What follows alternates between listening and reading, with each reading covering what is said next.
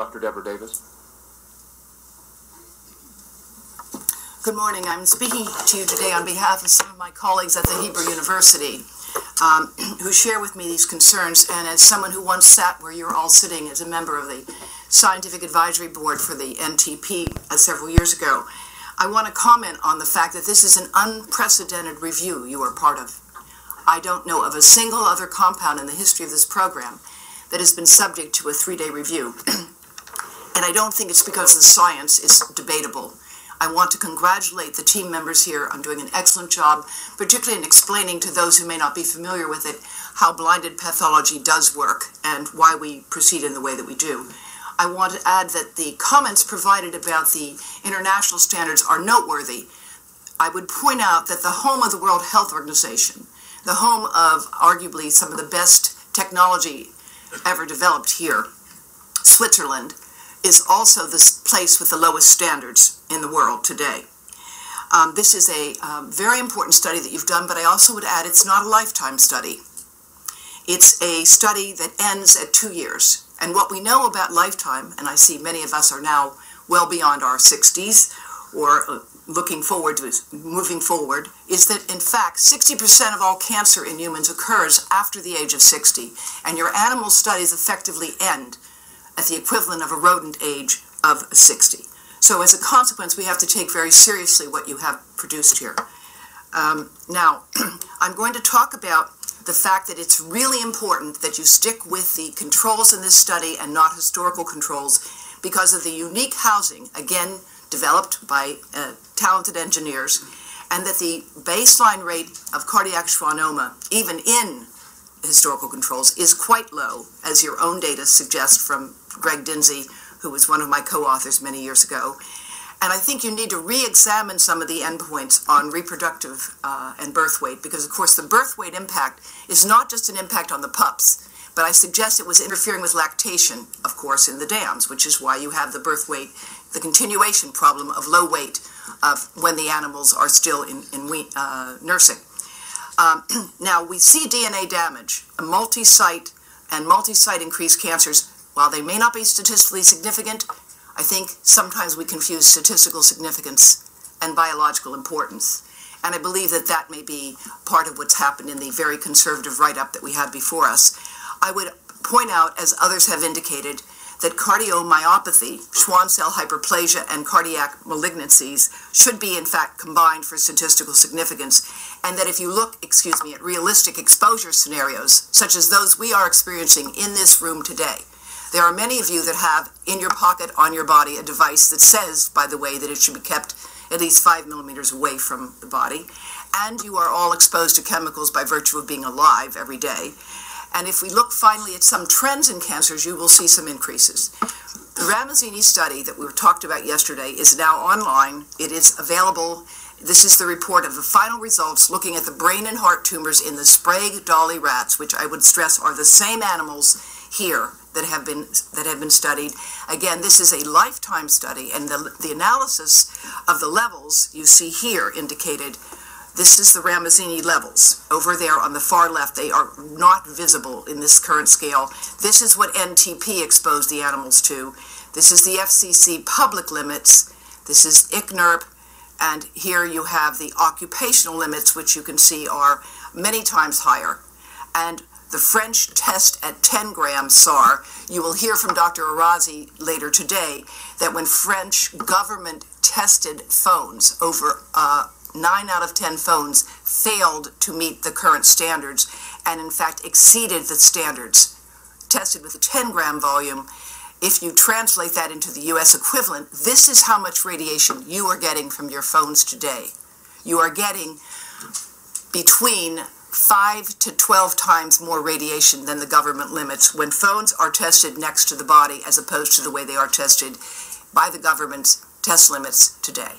Now, this is just one table from Falcioni. I know we won't have time to go over it in detail, but I want to indicate to you, you see here the controls, and you see hyperplasia, endocardial, intramural, and schwannomas. But if you combine, this is now groups 2, 3, and 4, and if you combine the data on hyperplasia with the schwannomas, you find a statistically significant increase with schwannomas. It's not just the high dose group. And we argue, of course, that you want to combine this.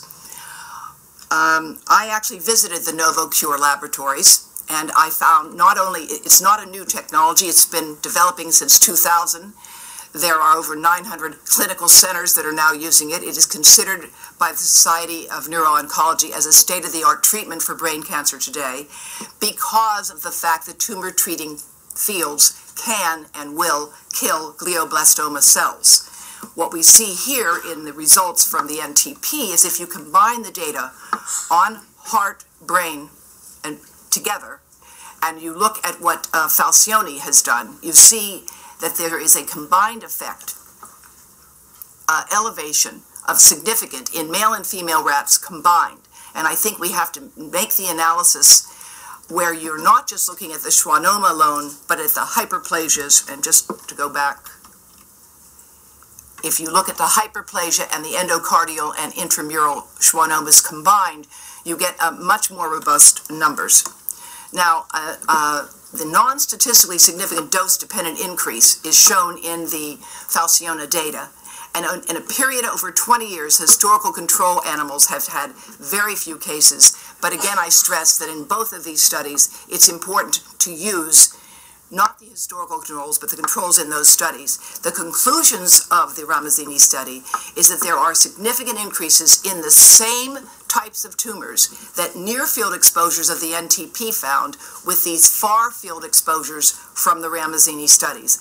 Of course, you will need more time to look at that, and we can't go into detail, but I think it's worthwhile to note that reproductive endpoints which were not seen in the study in terms of statistical significance of the NTP, actually do receive the highest dose. This is a simulation using the, some of the technology developed by ITIS with our colleague uh, Claudio Fernandez, and you will see that the highest exposure when a phone is in the pocket to a male occurs in the gonadal zone, the testis. And this was a study done of just of a laptop without heat showing the increase in damage into DNA and DNA fragmentation of the mitochondria of the sperm and sperm fragmentation. I, of course, these slides will be available for your closer inspection. These are studies that my colleagues and I have done at Turkey, where I'm also on the faculty of Ondokuz Mayis University, showing a reactive oxygen species in liver, kidney, hypothalamus, and testis. Again, statistically significant damage evident with these exposures. These are studies, again, on endocrine functions in uterine oxidative stress in four generations of rats, which you all know doesn't take that long to get four generations. And just 60 minutes a day, five times a week, results in a significant suppression of prolactin, progesterone, and estrogen, and increased oxidative stress. So what we have are non-monotonic reductions. This is now the NTP. I've taken data from table H2 in the current draft. And you will see here that in that draft, there's epididymal spermatozoal measurements. And I believe that, uh, and I would like to talk to the statisticians about why they didn't apply a Williams test to these data, because I believe there is a statistically significant reduction in spermatid and spermatozoa in the NTP study. And again, you can't be all things to all people when we know that, but I would urge you to reanalyze those data in your study. These are data just developed yesterday showing pituitary cancers in the Central Brain Tumor Registry of the United States. These are rates, excuse me, in the United States of one of the only national registries that we have of brain tumors of all types. And you see here a very real increase, and this is the age-adjusted rate of pituitary cancers as reported by CBTRUS, which gets its data from the CDC. I think it would be a mistake to take anything other than this is a trend that should not be ignored, but it is consistent with what the NTP has also observed, which is an increase in these same cancers. Uh, finally, I leave you this to look at uh, YouTube as you will see that the 5G, which is this new technology, which is in fact weaker in power for the way it will be used in phones, is being used for non-lethal weapons, and there's entire websites of the Department of Defense explaining this use. Um, and I think I will stop at this point, but leave you with this. The breast cancers that were referred to are multifocal primary tumors. We have four cases age 21 so far. This means multifocal, different primaries, all occurring under where the antennas of the phone were stored.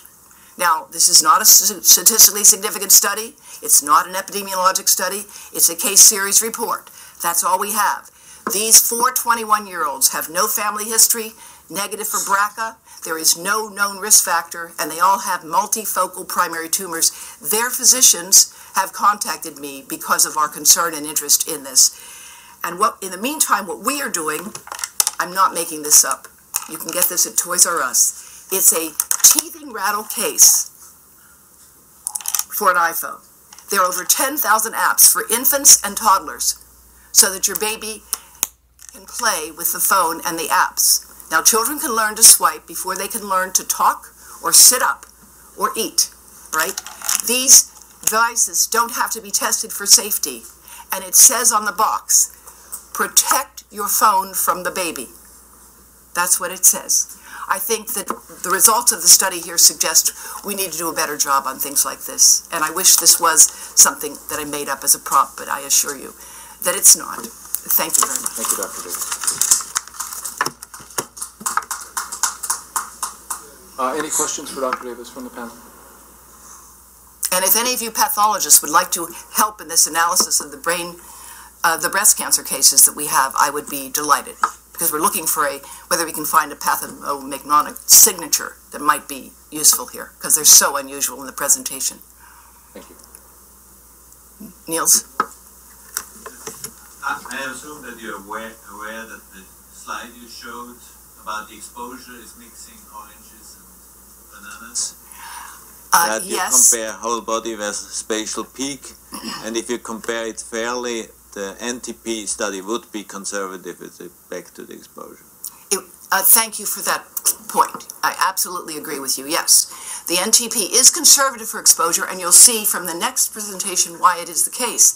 Because the French have a national agency which actually tests phones. And thanks to the work of the, my courageous colleague, Dr. Marc Arazi, a physician who has traveled here all the way from Paris, you will see that what the French have shown is that when you test phones, if I may take a moment, the way phones just are one. tested. We're way over time. so- I understand, but I think it's important for the panel to understand this. The way phones are tested today, they're tested in a holster away from the body. Now, nobody here besides somebody age 70 uses their phone in a holster anymore. I plead guilty to sometimes doing that.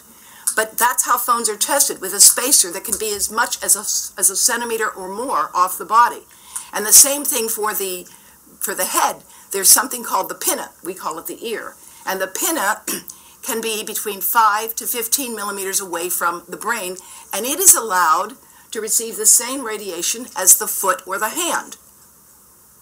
Figure that one out. That's why in that drawing I leave you of my beautiful little granddaughter, I point to her ear having the amount of radiation as a foot or a hand. So we have, we would agree, Niels, you have to come up with a better system of testing because the one you first invented almost 20 years ago or so is out of date because it's measuring the way phones are not used. And what the French will show you is when you measure phones next to the body, you're absolutely right. Thank you for that clarification, Niels.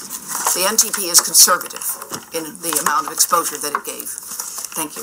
Okay, thank you. We will move